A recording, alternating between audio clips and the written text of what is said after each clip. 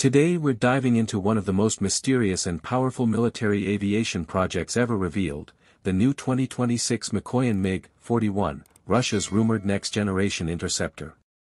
What is the MiG-41? The MiG-41, also known as the PAKDP program, is expected to replace the legendary MiG-31.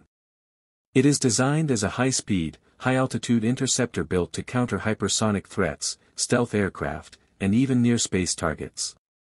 Extreme speed and performance. Reports suggest the MiG-41 could reach speeds of Mach 4 to Mach 5, making it one of the fastest combat aircraft ever planned. Its operational altitude may exceed 30,000 meters, allowing it to operate near the edge of space. Next-gen stealth and design.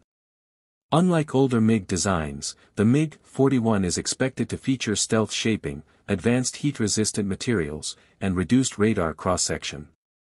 Some concepts even hint at optional unmanned or AI-assisted flight capability. Advanced Weapons and Technology The MiG-41 is rumored to carry hypersonic missiles, anti-satellite weapons, and next-generation air-to-air systems. It may also be equipped with powerful radar, space tracking sensors, and electronic warfare capabilities. Why the MiG-41 matters.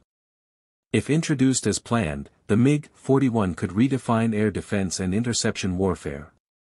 Its role would be to protect vast airspace, intercept future threats, and dominate extreme speed aerial combat. Final thoughts.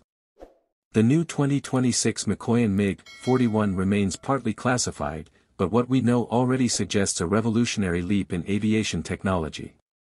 Stay tuned with Bike Zone for more updates on next-generation machines from land, air, and beyond.